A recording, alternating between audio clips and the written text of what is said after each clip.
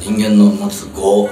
え、分かっちゃいるけどやめられないっていうその悲劇性と喜劇性が一緒くたになったような混沌の世界の中にこう神々しい光が差すような最終的には神とは何かみたいな壮大なテーマになっていくんですけどそれをこう笑いの中でどう見せるかっていうことにチャレンジしていきます。